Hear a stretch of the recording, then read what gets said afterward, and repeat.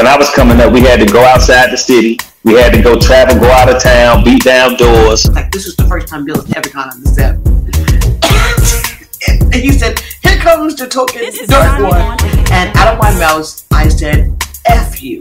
Fans are asking for a positive women and you know with family and business. and It's like you know that's that's what we bring to the show, and yet still it's like, oh, she's boring. My, it's my real story. This is really who I am. I, I, I made I build myself off a dollar and a dream without a man's help, without a basketball player. Particularly the patriarchal boxes that white cisgender males have defined for us should be how we define ourselves. That's what they were saying on the street. I didn't say it. That's what they were saying on the street. The streets, the avenues, and the boulevard.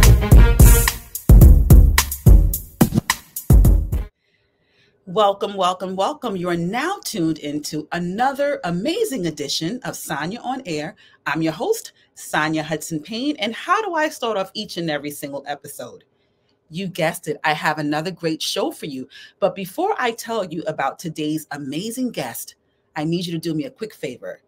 You know what it is, right? Because if you are a loyal watcher and listener of Sanya on Air, you know I'm going to ask you to subscribe. Make sure that you subscribe to every Sanya on Air streaming platform. Sanya on Air streams across every major streaming platform. And if you're watching this on YouTube, not only subscribe, but make sure you hit the little notification bell. That way, every time I upload an all new celebrity interview unpacking their pivotal moments and milestones, you'll be the first ones to know. Now, on to today's guest. I'm super, super excited to talk to this amazing and talented actress by the name of Irma Cadiz. Now, let me repeat her name again. Irma Cadiz if you are watching Power Book 3 Raising Kanan, like I am, and like everyone that I know, you will catch her on an upcoming episode. Matter of fact, on upcoming episodes, because she's playing Raq's hairstylist. Now, this actress, the reason why I'm so excited to talk to Irma is because I love, love, love speaking to working actors, people who are still grinding the pavement, people who are still acting by day but then selling coquito at night, just like Irma. And I love me some coquito, and it's around the holidays.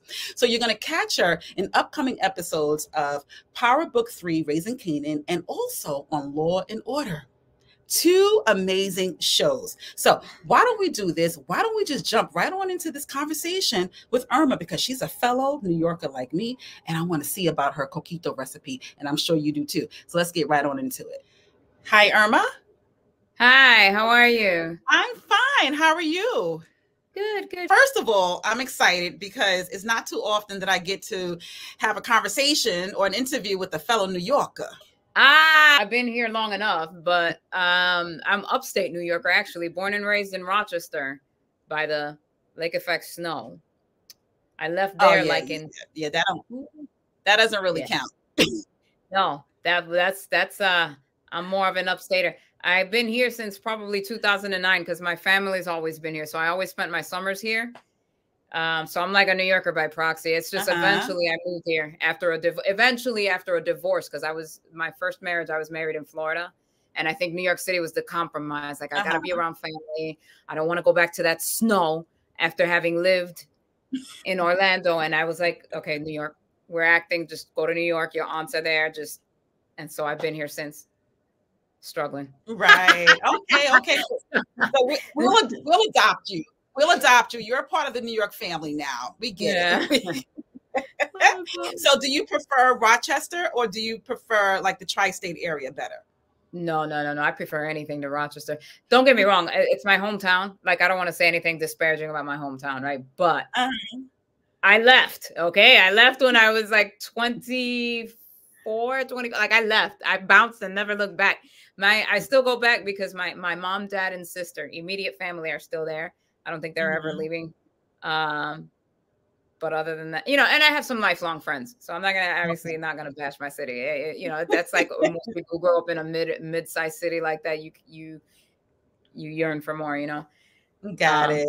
But at the same time, I don't miss like I don't know. I live in Harlem. I, don't know what else to say about that. Like, living in Harlem is a story by itself. That's a story Uh, about yeah. living in Harlem. Yeah, yeah. There, there's some things I miss, like like appropriate housing. Oh my gosh. No, no, no. Talk about housing. Did you just see on the news that um Yeah, the Bronx. That's right by my cousin's. Uh, this is actually, I just texted my cousin before logging on to you because it's right on their street. Um, I don't think Oh, they know anybody in that building because they're farther down where the houses are, past uh, university. But Okay. that's like literally, I walk that every time I go visit them. I'm like, wait, is that is that your block? I don't. I have no idea which building that is. I just saw it like you did online. yeah, yeah. Yeah. I'm people are starting to hear- put up videos. Like people, Yes, I'm waiting to hear more because what they were reporting on the five and six o'clock news was that they haven't found any bodies. Thank God, but I'm not too confident that that's still going to remain the same. Uh, would that be because they're under the rubble though? Because would they find Yeah. bodies that fast if there were any? You know what I mean? I don't know, but you I know, mean, unless it's somebody from the top floor, because it. It was a seven-story building, and the first floor had a bodega, and they Yeah. said people were in the store. So we will wait to see how this story unfolds. But I don't want to make this, you know, conversation too sad and solemn. So because I really am so excited for my audience to learn No, about you. tragic. Tragic. Very tragic, very tragic. Yeah. But let's just jump right into you. So, working actress, and I know traditionally when it comes to television or film, we do not see too many people of color as representation, although things have gotten better. Mm. What made you want to become an Yeah. actress, knowing that there is so little representation of people of color? I don't know that I thought about that because I was yearning for it when I was so much younger. I did start experiencing things immediately, like being a comm major in college, because I, I went to college in the 90s. I'm very much a Gen Xer, right? Um, there were pauses and I went back and finished as an adult, but I do very much remember professors telling classmates, like, make her sound American, make her, you know, and that that that was cool. And I remember there was a fear a little bit with me, like with Shakespearean things, I wouldn't tackle them. Like I was some somewhat aware of the whole colorism because I remember thinking like I'm I, I sound like a put like I don't, how am I going to pull an English accent things like that that I, I tackled more confidently as an adult not as a youth but I don't think I thought about the fact that we weren't represented at all I just kind of really wanted to do it I think I got a taste of it in high school when I did a stage play and I didn't know you could study it in college to be honest with you that's where I went with the communication major because I started going with what I thought was tangible um, but then I would see the theater majors. I saw the classes. It's a world that started opening up, you know. But like everything else, I, I had kids. Um, things were put on pause and several times, but it's just something that mm-hmm. I never gave up on. I just kept coming back to it, you know, and it'll be there till the day that I die. You know, I might just be cracking into the door now, but I got time. It, you know, I got time. I can only go up from here. So. That's Got it. So you said you caught the acting bug by acting in a play during high school. So when was the critical moment that you really decided mm-hmm. to take acting seriously and you started taking maybe acting classes? It was it was right away in college. It, it was it proceeded from high school right into college.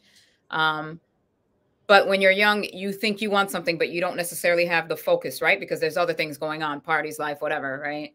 When I seriously took it, when I took it seriously again after the Uh-huh. kids, where I really started shifting focus, I would say it was like in 2008 when my kids were 11 or 12 at the time, something like that, and then the other maybe was eight, and I had help. Um, I started going to a studio called Art's Sake down there in Orlando with one of my late professors who taught me Meisner, and then it, it, it's never stopped from there. There there's there might have been some pauses like during the teen years where I had to take a little break because life, you know, um, and dealing with what's happening at home. But I kept coming back to it and just doing it even on a small scale, like little commercials or a little weekend play, whatever I could do to keep my sanity during those times. And then now that my kid, my kids are grown now, they're 26 and 23. Now I have time. now I have lots of time and I can actually like focus and actually have a manager and an agent and actually, you know, really stay on top of it. So, you know, But and I'm I'm, blessed with a, a, a husband that is very supportive as well. So, hmm? That's important. I'm glad that you mentioned that because a lot of people they have dreams, goals, aspirations, and life is always lifing. And I'm glad that you mentioned that although life was lifing, you decided to get back to it, even though there were gaps and delays. So, you know, that's just a reminder to people you don't have to let your dreams and aspirations fall to the wayside. Get back to it when you have an opportunity. So I'm glad that you mentioned that. You have to. You have to take care. Honestly, I could tell you, I could save you some therapy money because that's that's where I got that from. Therapist during the rough teenage years was like, don't let that stuff go. Do not. If, every day that I walked into that offices, what did you do for you today? Because you know, as mothers, we, you know, you're feeding them, you're getting them clothes. There's so many times when you go shopping, you think you're gonna buy yourself something, you don't. You buy, uh, you know, you forget about yourself. We always put ourselves last. We don't. We don't make it to the salon anymore because we're so busy. You know um, and it's the one survival skill that he taught me. You have to take care of you. He, he did the airplane analogy. He said you have to put the gas mask on your face before you can help anybody else. Because if I'm resentful or if I pass out or if I'm whatever, exhausted, you know, I'm not happy, nobody's happy. And I can't help anybody if I'm depleted in my gas tank. You know, so it's one of the things he taught me. Do not give up on your acting classes. Even if you have to save $5 a week for your nails, do not stop doing them. Take care of yourself because these kids will grow up, you know, they'll move on. They'll, but you're here with, you know, three hairs left afterwards. And so, yeah, no, never give up on those dreams. They're, you know, where's that going to go? It's going to be there. Where's it going? You know, if you have to take a pause, and that's not just with acting, that's with anything, right? That's with anything. If, yes. if you have a dream about starting a business or whatever your goals might be in life, if you have to take a pause to take care of yourself and to handle life, which happens, that's fine. It'll be there waiting when you get back. And yes, that's, I yes. live by that model. Well, I'm so glad that you remained consistent yeah. and persistent with your goals and aspirations of being an actress because you are going to be on upcoming episodes of Power Book 3 Raising Kanan, starring as what's your character's name? Valentina? Yeah. Talk about your character. Valentina. Yeah. Talk about your character. I am Valentina.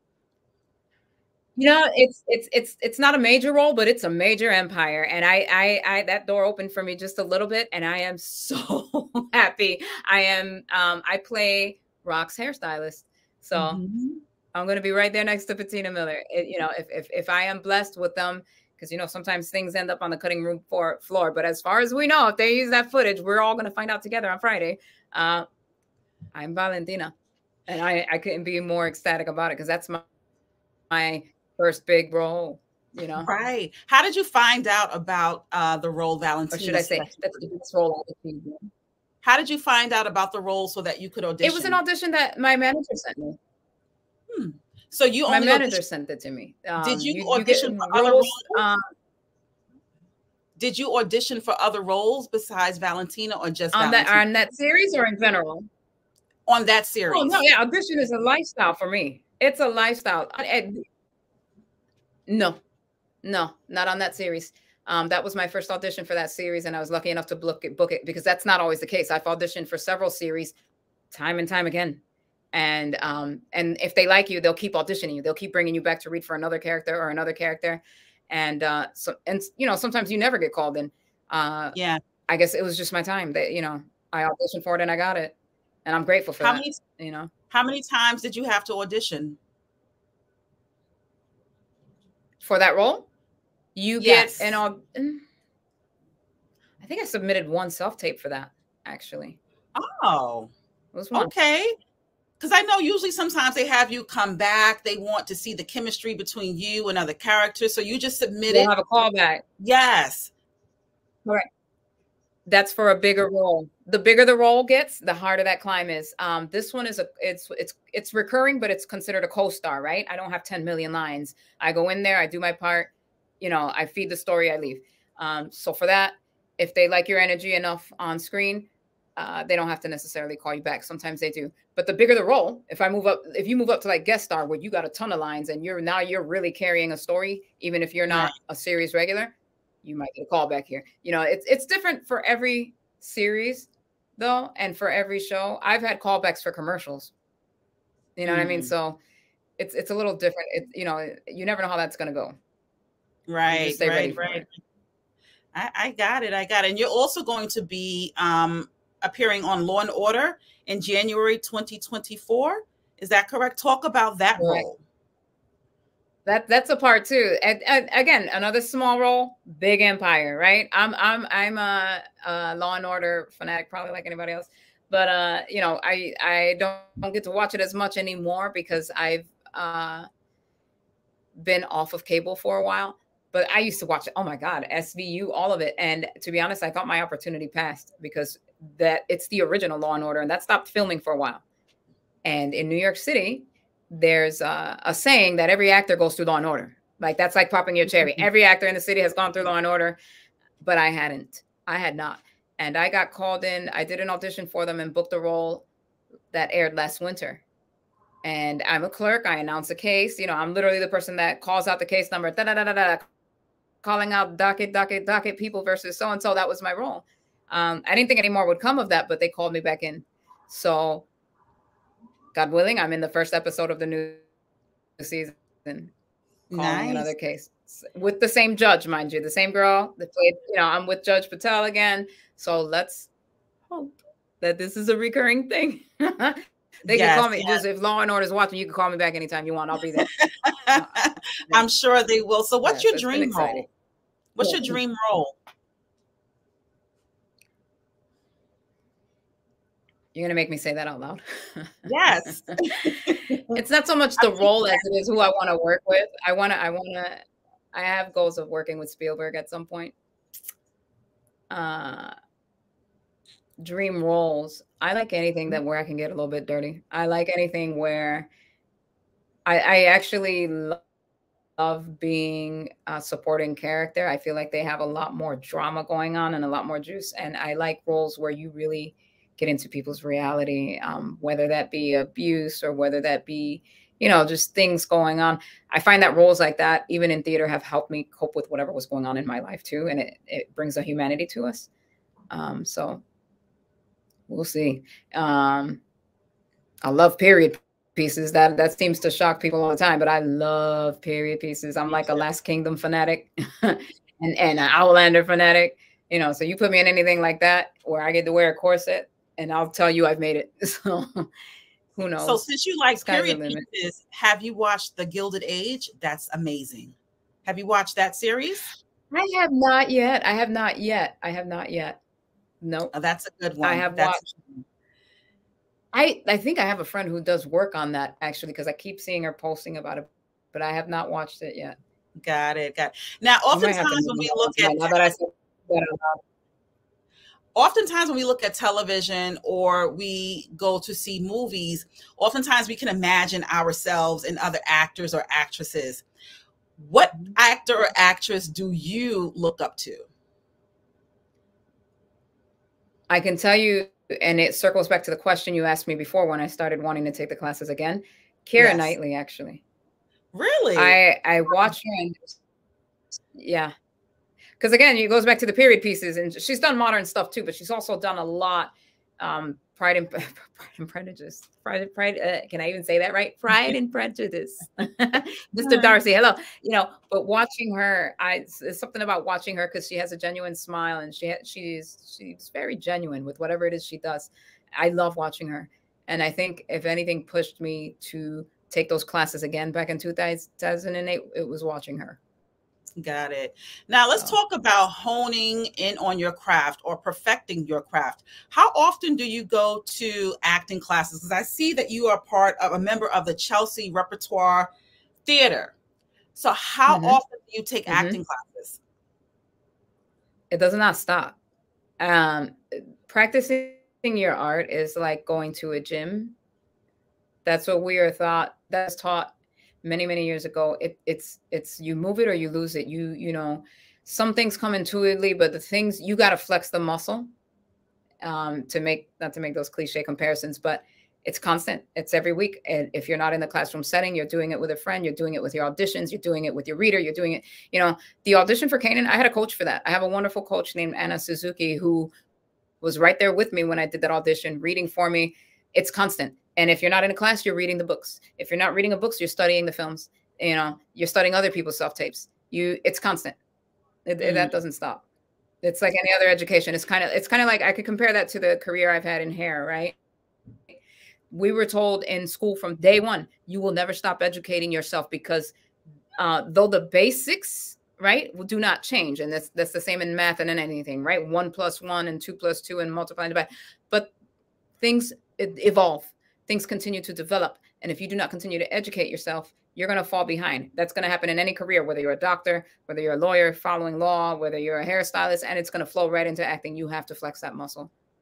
You have to. So it's, it's constant and that was another teachable moment or a mm-hmm. gem because in this age of social media you know people are only talking about the glory and not the story and people are thinking mm-hmm. that you know they're just going to submit something and then wham they're an overnight success and i'm glad that you mentioned that you have to put in the work you have to keep exercising your muscles so thank you for mentioning mm-hmm. that but also what i want my audience to know is that and you mentioned it briefly you are a hairstylist for 20 plus years people need to understand that because you got to pay the bills.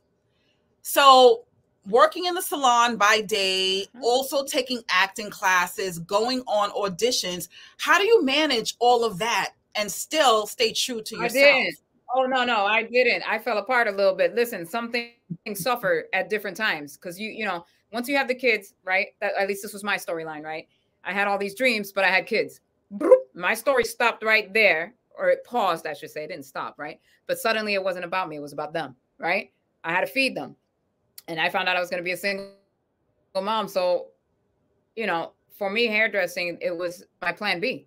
I had my parents help me while I, you know, that was a rough year. Thank God I had my mother. Um, because my daughter, when she was first born, had surgeries and everything, right? So I was literally the first year of her life, I had to be on social services so that I could be with my child during the day work nightclubs at night. That was the first year, so I could have some money coming in to take care of her, right? Second, and while she was having her surgeries, because I didn't want anybody else other than my mother touching her um, surgery. But um, that second year of her life, once she hit one years old, I enrolled in hair school. And again, thank God for my parents, because from nine to three, hair school, the hotel that I worked at was a block over. They allowed me to come in at 3:15 and I was there till 11 and then I would pick up my daughter, literally pick her up from my mother's just so I could sleep with her at night and go do it 5 days a week.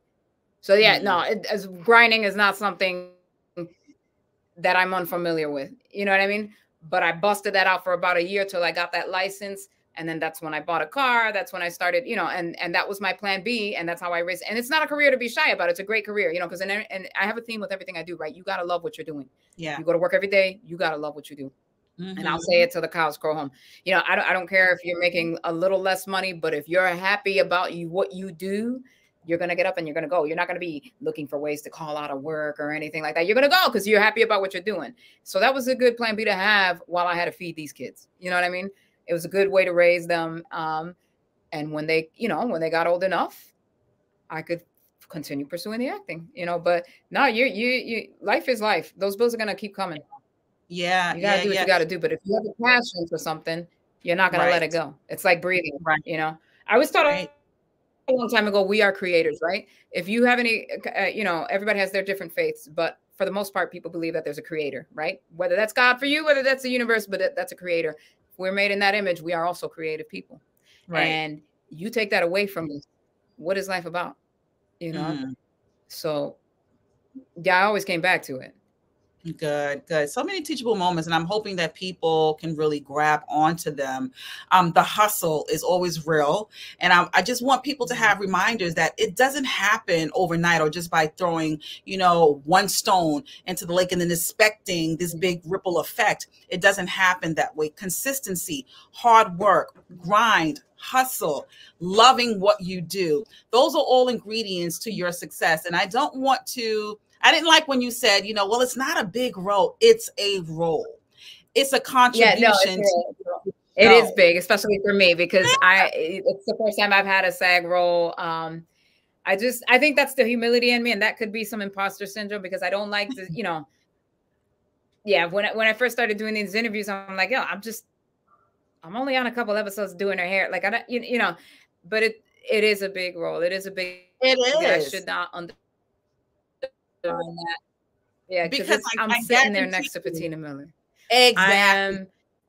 You're yeah. sitting next to Patina Miller, and yeah. I'm sure that there are yeah. other people watching who would love to be in your shoes. So we can't minimize what Yes. you've done Yes. and what you will Yes, continue to yes, do. you I'm are, you're not, you're absolutely right about that, and I probably needed to hear that. I needed to hear that because it's something I've been doing a lot, minimizing and saying. "Oh, calm down, it's not that serious," you know, and like almost trying to trying to not step out of my shoes, you know.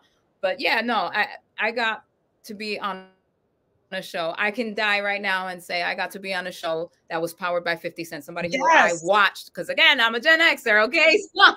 so it's like, oh my, yeah, I I have no complaints. But you There mentioned, go. so you now have your SAG after card, correct? Mm-hmm. Yeah, because of the. Congratulations. Congratulations. Now, Billy Porter recently he made a comment that said that he is only receiving three cent residual checks, and he has his SAG card. Now, at what point do you think an actor really makes enough money to afford the cost of living and to say, "Mama, I made it"? At what point does that happen? if you're a good budgeter, you need that one big break. I think part of what you hear me saying is I haven't had my one big break, right? I still got a job. I'm still out here hustling coquito. You know what I mean? I still have a husband who supports me and helps me go through this because no, you're not making big money right away acting. You know, you for every little check you think you get, right? Like you might get paid, you know, the numbers sound big, but think about this breakdown, right? If I get paid 1200 for being on set one day, 1200, right? There's taxes, Yeah. obviously. Just like anything else, everybody who has a paycheck knows half of that check's gone already be, with, with the taxes. Then I got to give mm-hmm. a cut to my agent. I got to give a cut to my manager. You know what I mean? Then you got to count all the money, just like any other business that I've already invested in this from headshots to getting footage to the education that we're speaking about. How much money do you think is actually left Yeah. of that one day that you were on set?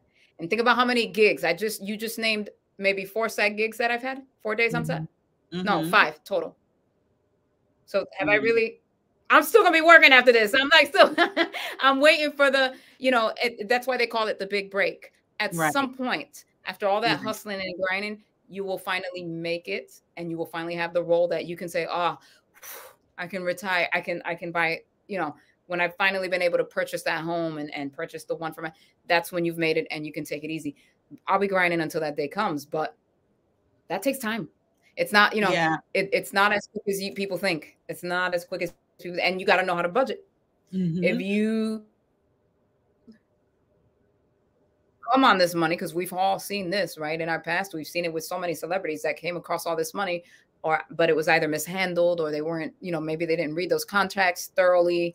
Um, so I'm grateful that I am a grinder, because when that budget comes, I'm gonna be ready to Right. distribute it distribute it accordingly as far as I'm concerned. But um, but that just comes from having been a single mom and knowing how to, you know, hustle and grind. But if you come into this young, you might not know those things, and you might think that fountain's Right. just going to keep rolling, and it, it's not. You know, I, I'm definitely not there yet. But, but, but you- But, maybe somebody's out there watching, and maybe they're going to give you that. big break. but people Yeah. Oh, yeah. that because they I mean- see you on television, they see people in film, and they think that they're rich. They don't know that you know Mm. there's an order to all of this, and just because you see your name, you know, on the television screen, it doesn't mean that you're rolling in bank. So that was another teachable moment. What do you think about this entire reality No. TV celebrity space where reality TV stars are now being considered celebrities? What do you think about that? Without any type of formal training. I mean, well, I think that the industry has been good about separating what a reality star is and what an actor is. So there's at least that to be said about that. But and, and I don't knock either. They're two different realms, right? But we cannot deny that social media has evolved and changed the way things roll now.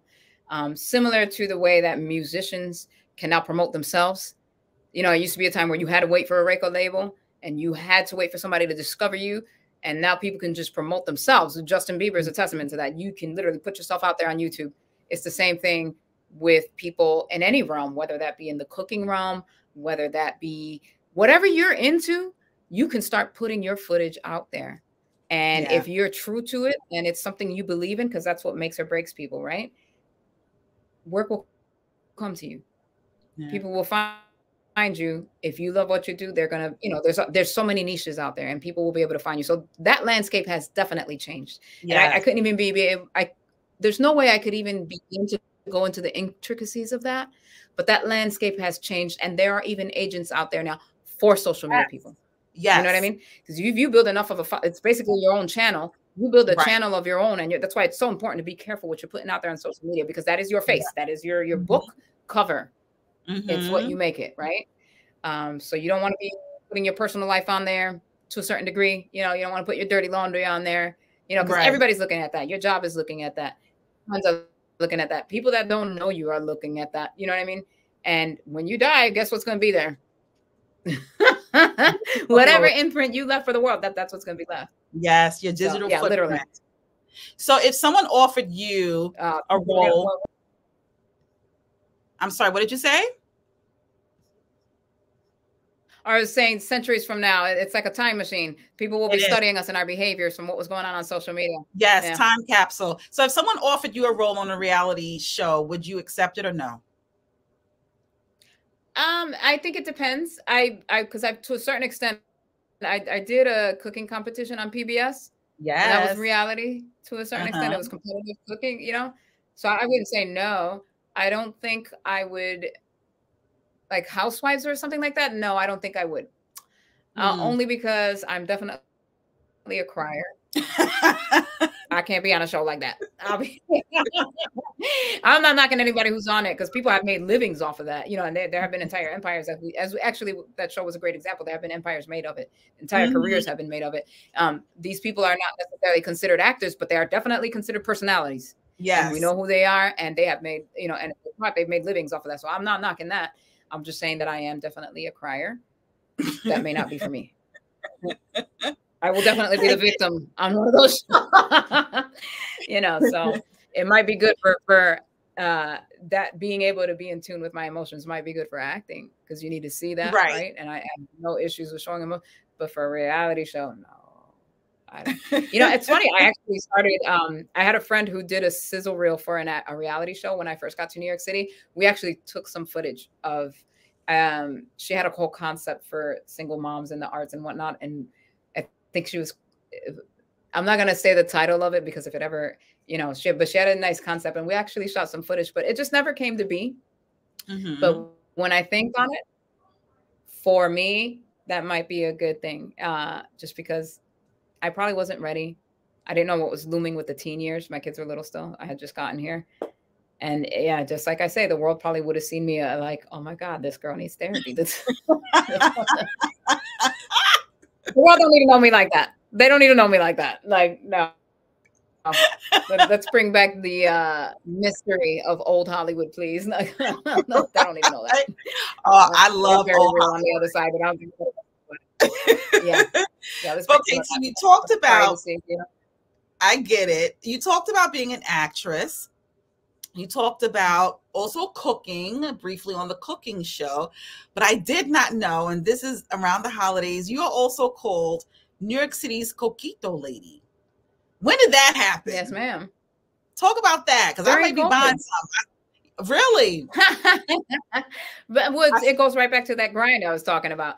I started doing it during COVID, like many people did. Many people started side hustles. And uh, yes. Uh, know, I went right back to I knew I wanted to do something. I wasn't working. I was home as we all were. Um, and I didn't think I wanted to go full time back to work either. You know what I mean? I wanted to invest in myself for once. And and uh, I mean, little did I know I'd be working every day. But That's a story for another day with businesses.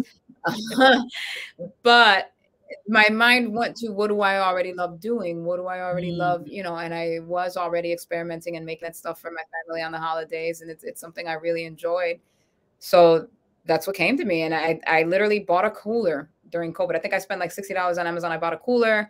I bought some some icy sleeves, and I literally made some, froze it, and I went out and I hit the street. I was literally in Harlem screaming out, "Culture served on ice, get your coquito, Christmas in July," and and and then just it took off from there. I've been blessed from that moment on. Yeah. But another teachable moment because people are always asking, well, what should I do? I don't know what I should do next. Tap into what you love to do. You're already doing it you And already just- doing? Yeah. Exactly. And just do it. So I'm glad that you mentioned that. So where can people purchase your coquito? Because I, I I see that you have strawberry, you have uh dulce de leche. You your homework. Oh yeah, honey, because I Mhm. love me some coquito. I'm really gonna order some. Where can they purchase the coquito? Oh, that's amazing. They can go to coquitolady.com. It's C O Q U I T O L A D Y.com. We're in e commerce. I ship nationwide. I don't ship outside of the country, however. And we also, for New Yorkers, we schedule curbside pickups as well. So, and Oh, you can also follow on Instagram if you want to follow the adventures on Coquito Lady NYC. Yeah, for sure. Wow.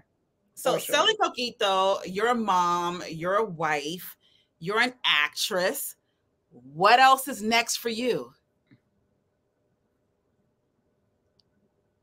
I mean, who's to say? I mean, you know, let's just put it out there that I continue to act. Let's put it out there that somebody buys my coquito company. Let's put it out there that when I become famous, I have that brand and I can show the world what it is. Let's just put that out there, you know? Um, that's just where my head is. It's I think about it every day. Like when I put out into the universe what I want for myself, I want to become a household name and I want that product to become a household name. Um, I want to share my passion about my culture with the world, Yeah. and I want to be able to do what I love every single day. Um, yeah, Got it, got it. But it's exhausting trying to hustle. Let me tell you, it's exhausting. Trying Oh, to I know. Let me tell you something, um, Irma. This is a true Mhm. story. So I wanted to get a, a, a camera, a professional camera, because I was starting to do a lot of red carpet. I waited until what was it, Labor Day? Have you ever heard of the the West Indian Parade on Eastern Parkway in Brooklyn for Labor Day? Yes, I was out there with my Yes. mother. My mother selling uh what do you call those things? The drinks? Um What's that drink? nutcrackers. What were Yes. you selling? Nutcrackers. Nutcrackers. I, I thought you was a New Yorker. Why are you asking me? Why are you asking me? When... I just had a brain freeze. But just talk about the hustle. Do what you know how to do in order to get to where you want to go.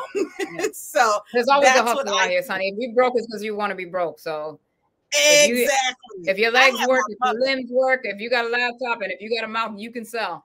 Yes, yes. So my Yeah. mother was right with me on Eastern uh, Parkway selling nutcrackers, so I can get me a camera. And thankfully, I did buy my camera. But going back to your, your character, Valentina, real quick, before we close out this conversation, what does your character bring to the episodes that you're in? Talk about it. Like, is she feisty? Is she quiet? Is she loving? Talk about your character. I think my character, you know, there's not much I could say about that because it hasn't aired, but it's I bring information. It's probably the most I could say. I bring information to Mhm. our cat to our main star. Um, Really? I like to say I bring a little bit of character. You know, it's a Dominican hair salon. And if you've ever been to the salon, I mean, you know, uh, I don't think I can say much more than that without I getting got a little bit of trouble. But So- did they briefly introduce you? I mean, if you're last- getting if you're getting anything from this interview, I get it. But did they briefly Say that one more introduce you? Did they briefly introduce you, your character, on last week's episode? 'Cause I did see Raq go into the hair salon, and I saw some hands. we were supposed to. Yeah. You saw my you saw just little bits of me. I was watching I too to you, see how much they were gonna show. Yeah, I saw you. it's funny. That's something to be known about that world. When I tell you so much footage was shot that day, there was extras all in that room. I think we saw the receptionist only, right? When we shot all that footage, it was a full day. There was a receptionist, there was an assistant sweeping the floor, there were several clients in the chat just to show the extreme amount of footage that can be shot. You know, they were filming me spraying and you know, flinging the cape, washing her hair, but what got in was my chin. yeah. you know, uh, but that's not going to draw. And that's probably why you see me hesitating, to be honest with you, because uh, part of the reason I hesitated to do these interviews is because you just don't know how much they're going to show. Yeah. You don't. You never do. There, there's an expression that some things get left on the cutting room floor. So we're all going to find out Friday what gets left on the cutting room floor and what shows. You know that we can we can only cross our fingers. The work is done. Um, but in the end, those are decisions, and that's another part of this world that people may not realize. Um, I'll always have the credit because I booked the job and I did the job and I filmed the job. Um, but it's on them how much footage they use, and yeah. you know that's another part of this world that a lot of people don't realize that that's an expression. Things get left on the cutting room board, and in the in the final um, say and the final magic happens in editing. Right. So we'll see. Right. We're gonna find out together. I get it. So one final question: What did your kids say about you being on upcoming episodes of Power Book Three, Raising Kanan? What did your kids say? Because you know your kids are the your toughest critics. What did they say? You know, I was just about to say, um, your kids. I mean, they're happy for their mom, but at the same time, they're not that excited. I mean, they've been watching me grind this for a long time. Honestly, they've grown up watching me audition. They've grown up watching it. Some of these things don't become real until they see it. I know when yeah. they saw finally the footage of the cooking show, they were really excited to see me on that. They were really excited to watch me compete. And when, you know, sometimes you don't think they're listening or learning, but they are. And I will say that when I didn't make it past like this, I did like two episodes, I think. And I think they felt really they were really sad, but at the same time, they were also my biggest supporter because once they saw that I was sad, they were like, "Wait, but you weren't the first one to go, right?" Hey, and then they made me feel like, you know, that that's your kids. Um, yes, I think they're proud of their mom. I hope they're watching because you know, I don't know if you know your friends that have kids who are Gen Zers. There's a little concern for that generation.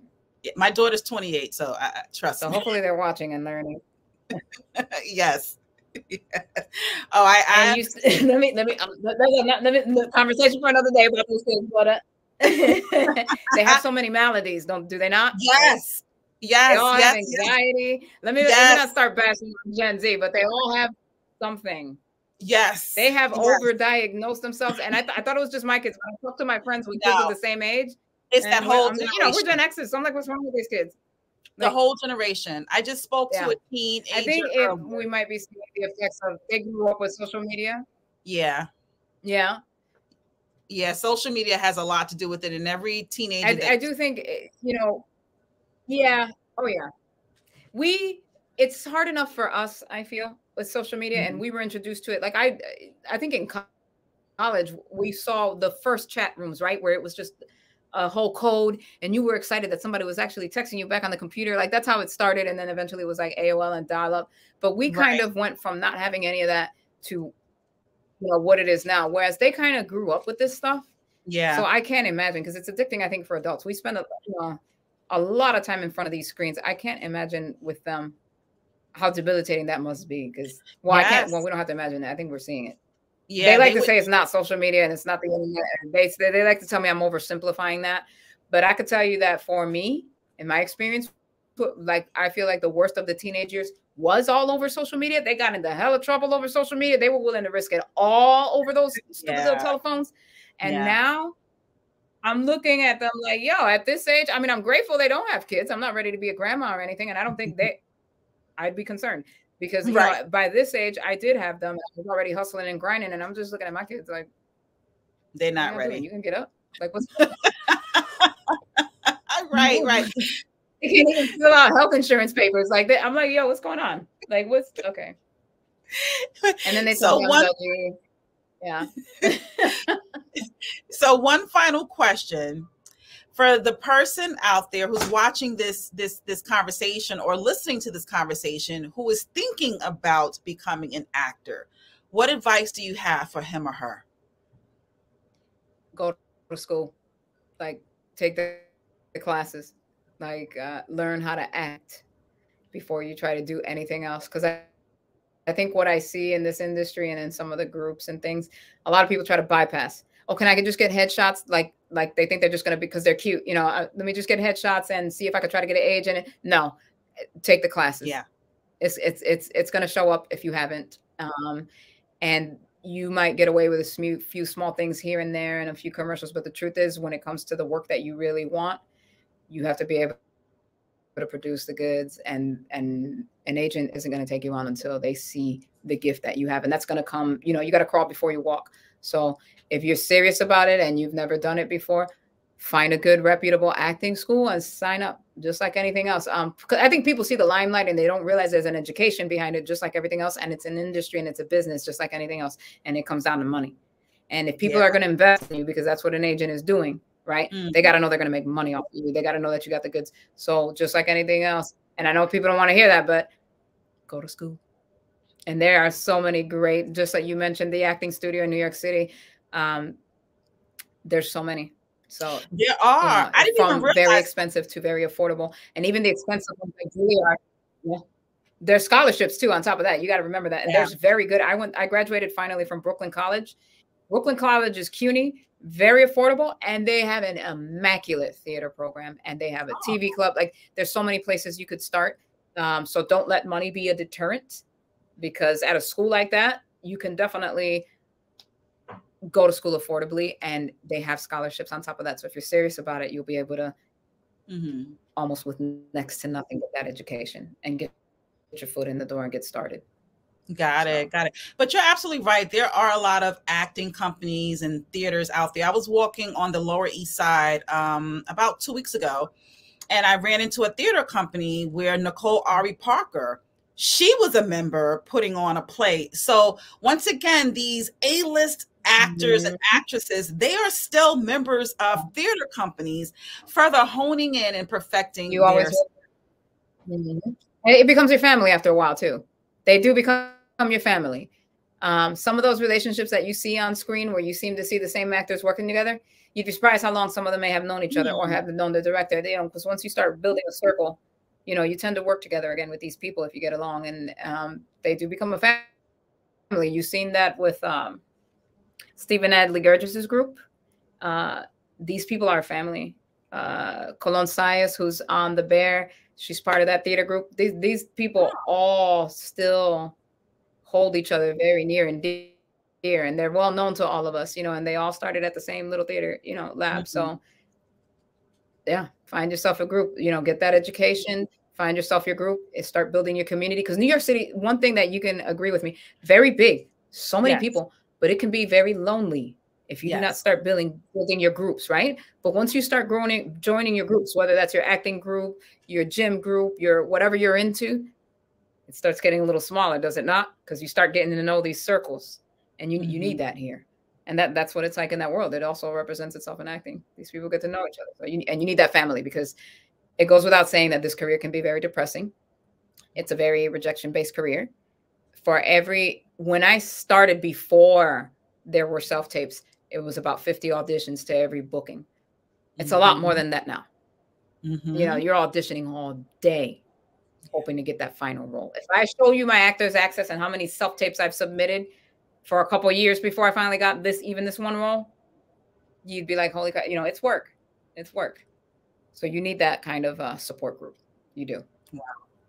Well, you know, just amazing advice um, lessons, gems, your own experience, teachable moments. Irma, thank you so much for having this conversation with me and for blessing my platform, Sanya on Air. Continue blessings to you in your acting career.